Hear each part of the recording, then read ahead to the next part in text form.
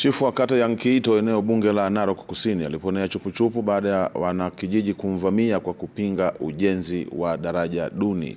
Wakazi hao walisitisha usafiri katika barabara ya Mulot kwenda Maasai Mau wakipinga kusitishwa kwa ujenzi wa daraja hilo linalounganisha vijiji vya Nkiito na Sirinik.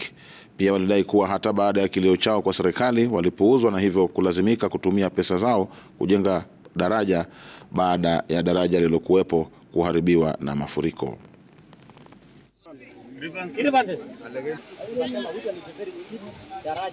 The situation is worsening. Ni maji ni mto ni mbaya. So sisi raia wenyeji wa huko wenye tunasikia hiyo uchungu tukajitolea. Sasa shida gani tumejitolea? Kiongozi anapopinga maendeleo kwa eneo lake ya watu ni kitu ya kustajabisha.